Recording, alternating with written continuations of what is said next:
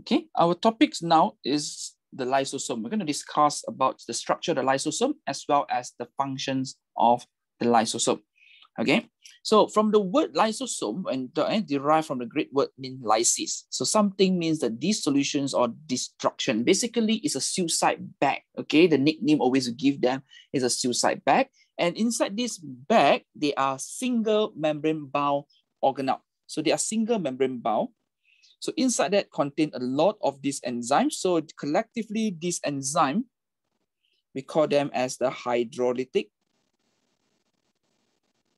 enzyme. So we learned about hydrolysis, right? Okay, so this hydrolytic enzyme will carry out the hydrolysis. So the hydrolyze what? Hydrolyze the macromolecules such as protein. We want to hydrolyze a protein, mean break down. Hydrolyze, another word means break down. Break down the protein, break down the DNA, RNA, polysaccharide, and also the lipids. Okay, now a bit confused here, a bit confused here, be careful. When we use the word macromolecule, Okay, macromolecule only applicable for protein, DNA, RNA, and polysaccharide. Lipid is not a macromolecule. Are you clear? Lipids, they are not macromolecule. They're just a large molecule. So uh, in topic number three, okay, we are going to, in biological molecule, we need to learn what is the definitions of the macromolecule. So for today, you just take it as protein, DNA, RNA, polysaccharides, they are macromolecule, but lipids is not a macromolecule. Okay. So this hydrolytic enzyme and lysosomal membrane are made by the rough ER and then transferred to the Golgi apparatus. Okay, so this Golgi apparatus later bud off.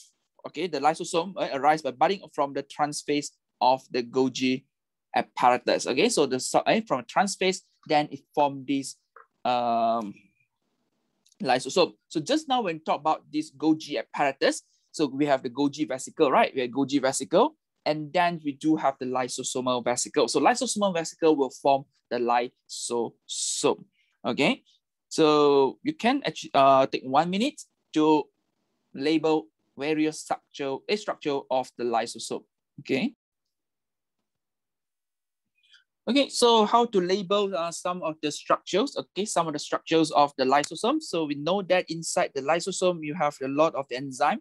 So this enzyme is termed as the hydrolytic enzymes. Huh? Okay, we term it a hydrolytic enzyme. So why we, think, we name uh, them as a hydrolytic enzyme? Because they carry out hydrolysis. So another word for hydrolysis, breakdown. Okay, break down the macromolecule, large molecule into the smaller molecule. Okay, so in this case, you can see that this one is the membrane of the lysosome. So membrane actually formed by phospholipid. As again, I say that phospholipid is a triglyceride, something like triglyceride, but with phosphate groups. Okay, generally, we're going to learn this one in the next topics. Okay, so it's a membrane, okay, or lysosomal membrane. Either say membrane or lysosomal membrane here. So lysosome, a bit special.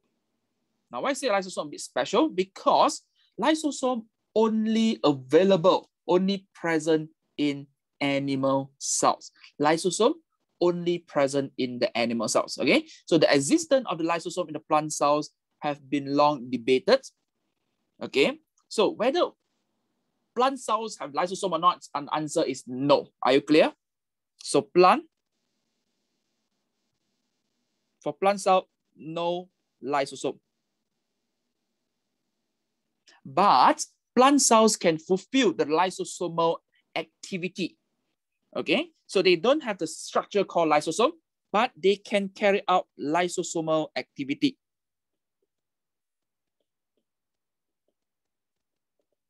By using their vacuole. Okay, highlight this. So plant cells, always remember, no lysosome. But how they can carry out lysosomal activity, how they can carry out the hydrolytic process or hydrolytic reactions, so they are, they are using their vacuole. So the vacuole actually contain the enzyme. Okay, they use a vacuole. So this vacuole actually contain the enzyme found in the animal lysosome, same as the animal lysosome. So they have the same functions, but different organelles. Are you clear? So for plant, they use vacuole. Okay, the plant, they don't have lysosome, but animal cells, we use the, okay, for animal cells, we use the lysosome. Okay, so what are the lysosomal activities? Means that the functions of the lysosome. So let us look at this diagram now. Now we do, eh, we do know that, eh, we do know that uh, to form the lysosome, we need to go through the Golgi apparatus. So when the vesicle bud off from the trans face, and then it form this lysosome. So lysosome have three, eh, lysosomes have three major function. The first function is called intracellular digestion. Okay, the first one is known as intracellular digestion. Now, what's intracellular digestion? Intracellular digestion basically, let's say, for example, in some of the uh, unicellular organisms such as amoeba. Okay, so we know that amoeba will carry out endocytosis. Endocytosis means take in. Can I say that? Endocytosis means take in.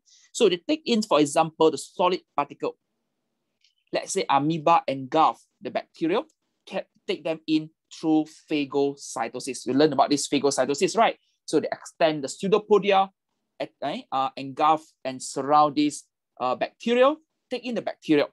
So we form this what we call the phagocytic vesicle. And this phagocytic vesicle, the membrane, fills with the membrane of the lysosome. And now can you see that? They release the hydrolytic enzyme and break down the bacterial. So useful uh, material will be reabsorbed back. The waste products will be sent out by exocytosis or will be released by exocytosis. So the first process is known as intracellular digestion. So again, guys, solid particle, for example, bacteria. So our amoeba can actually extend the cytoplasmic projection or pseudopodia to engulf the bacteria. But they take in the bacteria, they have to break down the bacteria, right? So how to break down the bacteria? So the membranes of the phagocytic vesicle fuse with the membranes of the lysosome so that lysosome now can release the hydrolytic enzyme to break down the particle. So useful material or nutrient will be absorbed by the cells. Waste products will be sent out or released through the process called exocytosis. Exo mean exit, endo mean take in, okay? Endo, take in. So this first process is known as intracellular digestion. Okay, so now we look at the second process. The second process is termed as autophagy. Okay, the second process is termed as autophagy. Okay, what's mean autophagy? Now, we do know that some of the organelles can be damaged. Are you clear? They old already. So uh, no functions already. So what we do here is the lysosome together right, a vesicle surrounding the damaged organelles. Can I see that? The damaged organelles fuse with the lysosome so that lysosome again can release the hydrolytic enzyme to break down the damaged organelle. So the useful material or the nutrient will be absorbed back and then those uh, waste products that we cannot absorb again, we release them through the exocytosis. So the process is termed as autophagy. Eh? The process is termed as autophagy. Okay. Then how about the third process? Third process is known as autolysis. Okay, so what's mean autolysis? Lysis means breakdown. Okay, break. Break what? So in this case, Autolysis take place when we break the membranes of the lysosome. So means that this digestive enzyme or the hydrolytic enzyme will be all over your cells. Basically, is a suicide process. Autolysis basically means that for those cells that already old and cannot carry out the functions, we don't want them anymore. When we trigger the release of the hydrolytic enzyme inside the cells so that the cells will be killed, okay? the cell will be lysed in this process. Okay, so we have three. We have intracellular digestions. We have autophagy together with the autolysis, eh, based on the functions of the lysosome. Yeah. So you are given all the terms here already. Okay, so take five minutes to complete the, uh, the question here. Then I will disclose the answer later, okay? Five minutes. Okay, so let us uh, continue with the answer, okay? So assume that you guys have done uh, answering the question here. So we start. Lysosome carry out the intracellular digestion. This the first process is known as intracellular digestion. So in a variety of circumstances, right, amoeba and many other unicellular eukaryotes, okay, uh, okay, engulf, okay, smaller organism or food particle by the process known as phagocytosis. So what is engulf? Engulf basically they extend the say, pseudopodia or extend the cytoplasmic projections, eh? cytoplasmic projection. So it's something like this. So this is a bacteria. Okay, so what's the, the cell can do? The cell can extend the cytoplasmic projection. The nucleus. Okay, so this is termed as cytoplasmic projection. So when this cytoplasmic projection later fuse together, nucleus, can you imagine it fuse together? Then it's going to trap the bacteria inside this. So this vesicle is known as the phagocytic vesicle. Are clear? So it's, it's a vesicle, but because it's formed after phagocytosis. Okay, so the process here is done by phagocytosis. It's a form of endocytosis. Endocytosis is a general name. Phagocytosis is more precise, okay? So means that after this, you can see that after phagocytosis, so form a phagocytic vesicle. Okay, so the phagocytic vesicle, okay, the phagocytic vesicle form dense. So the membrane here, can I see that? The membrane here later will fuse with the lysosome, okay, fuse with the lysosome, where the enzymes, okay, will hydrolyze the food particle. Now be careful when you use the words, okay, food particle, not food. Be careful, food particle and food is different. Huh? Food, basically we prepare the food, we eat the food. Okay, for amoeba, they don't eat the food. Okay, they eat the food particle. They don't eat, basically, they actually uh they take in, okay, the food particle. So digestions take place, then the, the products, the waste product are released into the cytosol and become nutrients for the cells. Okay, we absorb the nutrient. Lysosome also use the hydrolytic enzyme to recycle the cell own organic compound by the process of autophagy. Okay, autophagy. So during the process, a damaged organelle, so it can be mitochondria, it can be Golgi apparatus, okay, will be surrounded by a vesicle and a lysosome fused with the outer membrane of this vesicle. So the lysosomal enzyme dismantle the enclosed material and the result small organic compound are released to the cytosol for the reuse. Okay, the waste product will be sent out or released out by exocytosis.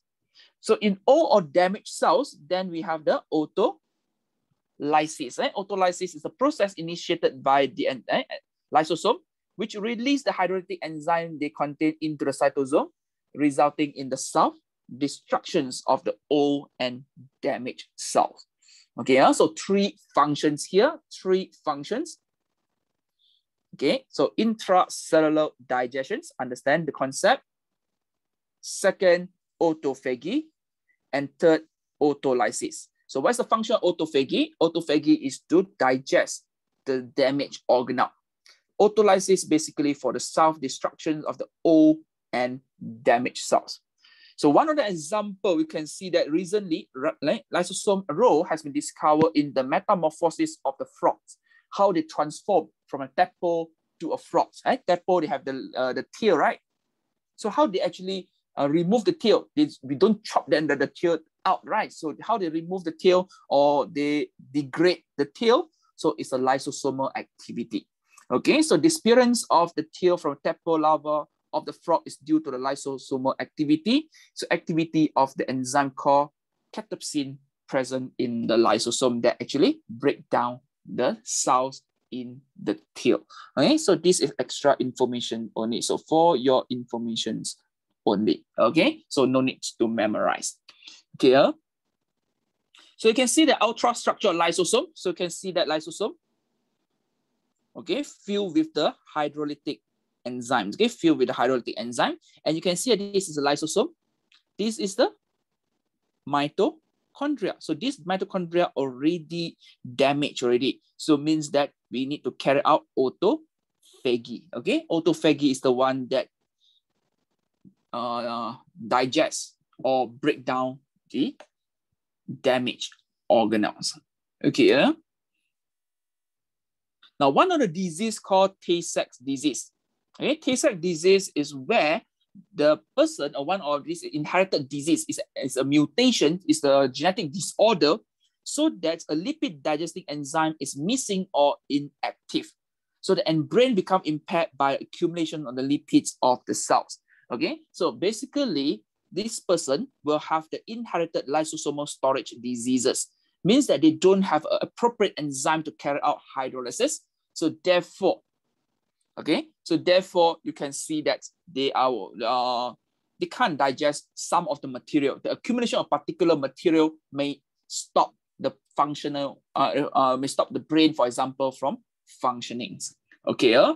so with this, I have done for the I've done for the lysosome. Uh?